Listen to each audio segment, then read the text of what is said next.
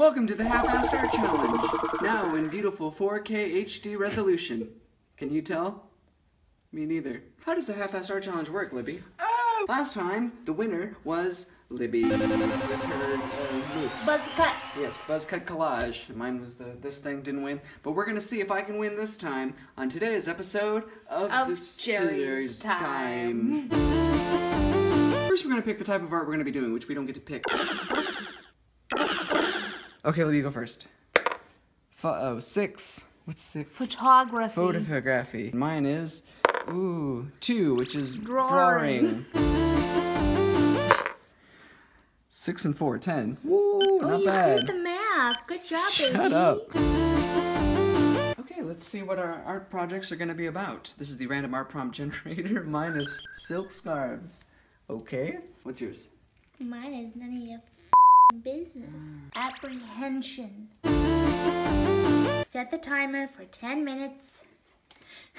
it's going. It's going. Oh, it's going already? It's going. Oh, It's no. going. I'm just going to stay right here. I'm to draw right here. Good luck. You ready to have some fun?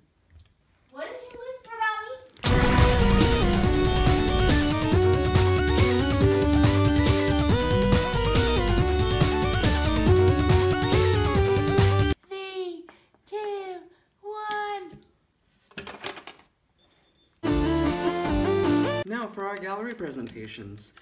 We have to see what we came up with in 10 minutes. I did a photo series of two photos. Okay. Hold on.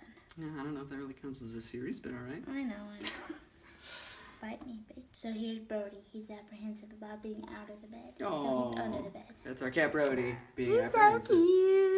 And this is a picture of Amelia who's apprehensive. Oh my god, that's adorable. poking through the hostas. That's so perfect. So it's animal apprehension. That's surprise. I'm impressed, I must say. And I had a drawing called Silk Scarves. This is a disgusting silkworm out a beautiful silk scarf. And it says elegance, a thousand dollars. it's nine ninety nine. So there you have it. You get to decide who wore it best. The silkworm? Or me. So you vote in the comments. Whose art project was better within only 10 minutes? Let us know. We'll let you know next episode. But we'll also tell you right here in an annotation. The winner is Me.